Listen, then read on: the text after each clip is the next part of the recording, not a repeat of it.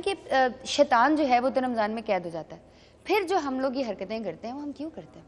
I think یہ کسی مولوی سے سوال پوچھنے کا ویسے ہم نارمل بندے کیا سوچتے نارمل بندہ میرا خیال ہے دیکھنا پڑے گا کیونکہ ویسے آپ کو کچھ فیل ہوا کہ شیطان ویطان قید ہو گیا؟ کچھ فیل ہوا کہ میں چلو میں تھوڑا سا اور اچھا ہو گیا ہوں شیطان کا انفلوئنس میرے پہ کم ہوا؟ میں بڑا غور کرتی ہوں ہاں ہوتا تو ہے۔ نا؟ ہلکا سا کچھ۔ ہے کچھ ہے اس میں. کچھ پازیٹیوٹی کی طرف آ جاتی جی جی ایسا کچھ ہے لگتا ہے. لیکن آئی تھنک شیطان انسان کے اندر جو ہے نا وہ خود ہی اس نے اس سے لڑائی کرنی ہے. نفس سے. نفس سے یا جو بھی شیطان اس کو ورگلاتا ہے مختلف چیزوں کے بارے میں. لیکن کیا فائدہ ایسے روزوں کا ایسی نمازوں کا جس میں آپ جھوٹ بھی بول رہے ہیں غیبت بھی کر رہے ہیں کرپشن بھی کر رہے ہیں رشوت بھی دے رہے ہیں سفارش بھی کر رہے ہیں میرٹ کی دیجیے تو پھر روزے کا فائدہ ہی نہیں ہے۔ مت نظر پانچ چیزیں میں کہتا ہوں۔ پانچ چیزیں اگر کریں جو کہ ہماری سوسائٹی میں نارمز بن چکی ہیں۔ People take pride in you know doing these things fashion statements ہیں۔ Which is a bad thing آپ آپ نے اگر یہ فیشن مثال کے طور پہ باپ بڑے فخر سے کہتا ہے میرا بیٹا بڑا تیز ہے اس نے اس کو پانچ سو روپئے دیے اس کا کام ہو گیا۔ اب یہ اس نے رشوت دی ہے لیکن ہاں، باپ بڑی فیشن سٹیٹمنٹ دے رہے ہیں۔ سوسائٹی بیسیکلی ہماری چلی غلط جگہ پر گئی ہے۔ جی ہاں۔ اب ہم پیسے والے کو رسپیکٹ کرتے ہیں۔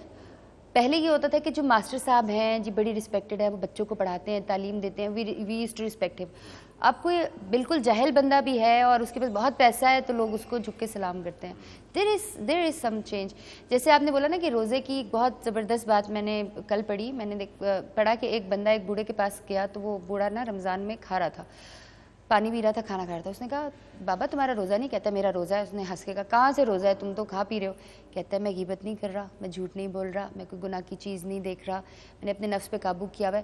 صرف میں بیمار ہوں، اس وجہ سے میں کھا پی رہا ہوں۔ تو اس نے اس سے پوچھا، بیٹا، تیرا روزہ ہے؟ اس کا نہیں، میرا روزہ نہیں ہے، میں صرف کھا پی نہیں رہا۔ So there is a hell of a difference you are right کہ ہمیں واقعی یہ چیزیں دیکھنی چاہیے۔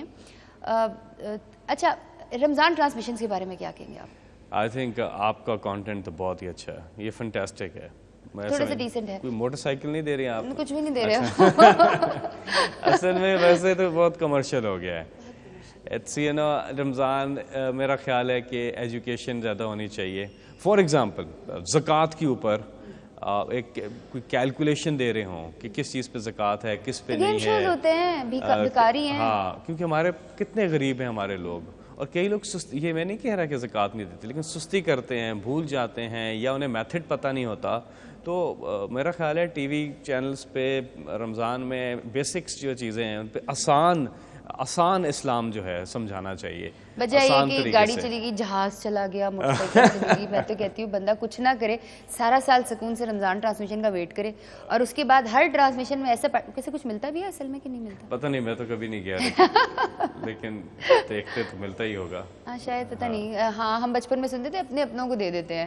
یہ بھی ہماری بچپن میں ایک مت ہوتی تھی۔ اچھا ایسے بہت سارے لوگ کرٹیسائز کرتے ہیں لوگوں کو کہ دیکھو یار سارا سال اس نے نماز نہیں پڑھی اب رمضان آ گیا مسلمان ہو گیا۔ تو کچھ لوگ اس کو برا سمجھتے ہیں، لیکن مجھے یہ لگتا ہے کہ دیکھو، اگر سارا سال عبادت نہیں کی اور رمضان میں کی، تو یہ بھی رمضان کا احترام ہے نا کہ چلو اس میں عبادت کرے۔ تو ایسے لوگوں کو کرٹیسائز کرنا تو میرا خیال ہے غلط بات آئی تھنک نیٹ پریکٹس بھی ہے کہ ایک مہینہ آپ نے رہنا ہے، صبر کرنا ہے، برداشت کرنی ہے، لوگوں کو سپیس دینی ہے اپنے آپ پہ کنٹرول کرنا ہے ڈائٹ کے معاملے میں بھی اور فٹ بھی رہنا ہے۔ تو یہ ایک مہینہ شاید گیارہ مہینوں کے لیے پریکٹس بھی کرواتا ہے۔ So it's good if you change اور اگر آپ کنٹینیو بہت سے لوگ کنٹینیو کرتے ہیں. میں نے ٹرائی ہاں، کیا کنٹینیو کافی ہاں، عرصے تک رہ میں نے عید عید کے بعد دس دن تک کنٹینیو کیا تھا تھوڑا. اس کے بعد پھر میں تباہ ہو گیا. سب سے زیادہ لوگ کہاں کے زیادہ رسپانس دیتے ہیں کہ باہر نکلنا بھی مشکل ہو جائے؟ کن کن سٹیز کے؟ اچھا وہ میرا خیال ہے نمبر ون پہ تو لاہور ہے۔ ریلی وہ تو میں نے بھی آج اندازہ لگا کیونکہ ہیٹرک کی مینار پاکستان پہ جلسوں کی۔ جلسے چھوڑے آپ کے بارے میں ویسے میں لڑکیوں کو بتاؤں کہ میں آپ کی طرف جا رہی ہوں تو وہ بیسیکلی آئی اس لیے نہیں وہ چار چھ لڑکیاں تیار ہو گئی تھیں کہ وہ تیار نہیں تھیں۔ ادروائز آپ کی بڑی فین فالوئنگ ہے لاہور میں۔ یہ تو لیکن یہ ہے کہ number two number one Lahore ہے I think number two Karachi ہے۔ بیکاز یو نو ادھر بھی ہم نے کافی۔ اور پھر اسلام آباد آف کورس اسلام آباد جہاں میں رہتا ہوں۔ آپ نیو جنریشن کو کیا میسج دینا چاہیں گے کہ ہم اپنے اینڈ پہ دیکھیں؟ بہت سارے لوگ ایسے ہیں جو میری کزنز ایسی ہیں جو کہ بچاری ینگ سی لڑکیاں پڑھ رہی ہیں وہ آپ کے ساتھ تو ہیں بٹ دھرنوں میں جانے کی پرمیشن نہیں ان کو ملتی گھر سے نکلنے کی پرمیشن نہیں ملتی۔ تو جو ایسے لوگ ہیں جو کہ پریکٹیکلی نہیں جا سکتے ان کو کیسے آپ کا ساتھ دیں وہ؟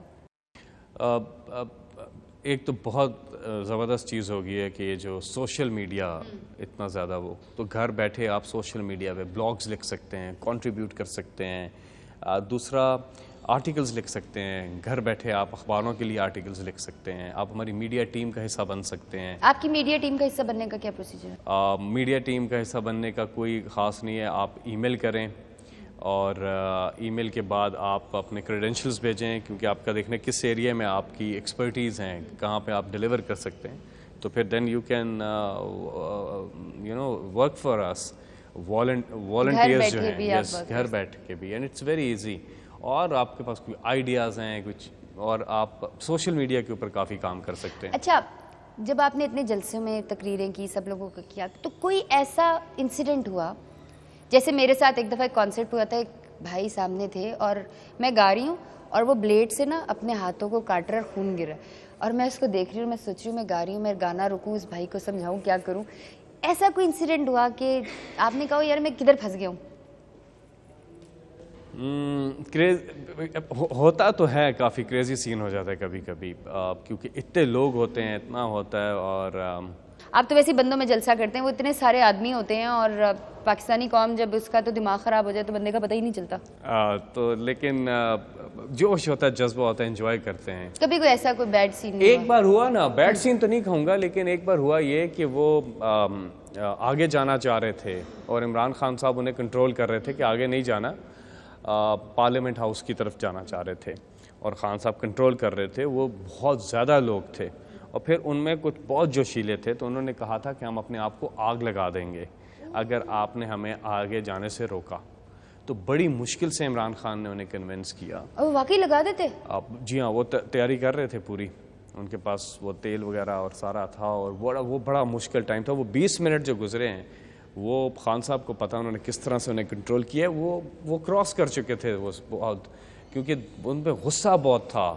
اس گورنمنٹ کے خلاف اور وہ بس چاہ رہے تھے کہ بس آگے جائیں۔ تو عمران خان صاحب نے خیر ایک leading role again you know he lead it from the front and چلے فیصل، مجھے بہت اچھا لگا آپ کے ساتھ بات کر کے اینڈ آئی ایم شیور کہ بہت سارے لوگوں نے بھی انجوائے کیا ہوگا اور میری فرینڈز یہ ہیں فیصل جاوید، آپ ان سے ملنی ہیں اور نیکسٹ ٹائم جب آپ آئیں گے تو you really have to come to that place تاکہ بہت ساری لڑکیاں آپ کی فینز ہیں، وہ آپ سے ملنا چاہتی ہیں، آپ کے ساتھ پکچر اتروانا چاہتی ہیں۔ یہ آپ سے ملاقات ہوگی ان شاء اللہ next time with something exciting about iftar because Ramzan ایک ایسا ٹائم ہے جس کے اندر ہم بہت عبادات کرتے ہیں، بہت سارے لوگوں کا خیال رکھتے ہیں اور ہمیں یہ میسج ملتا ہے کہ بھوک لوگوں کے لیے کتنی، کتنا بڑا عذاب ہے جو لوگ صرف روزے کے لیے بھوکا نہیں رہتے، جن کے پاس کھانا ہی نہیں ہوتا۔ تو اس چیز کو ریئلائز کریں، جو لوگ راشن دے رہے ہیں رمضان میں پلیز اس کو کنٹینیو کریں، آگے بھی لوگوں کو دیں۔ آپ سے ملاقات ہوگی next time keep smiling take care اللہ حافظ.